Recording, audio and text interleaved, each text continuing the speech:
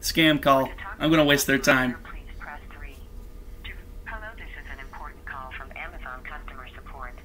This is to notify you regarding your today's purchase on Amazon.com. You have been charged $1,279.99 on your default card saved on Amazon.com. If you have not made any such transaction, then please press 1 to cancel your order. Else if you...